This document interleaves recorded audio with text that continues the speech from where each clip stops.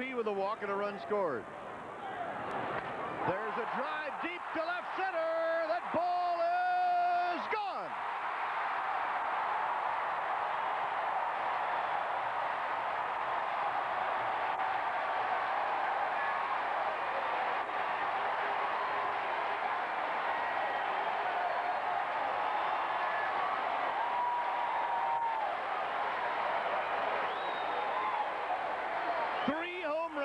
Three games for Parrish.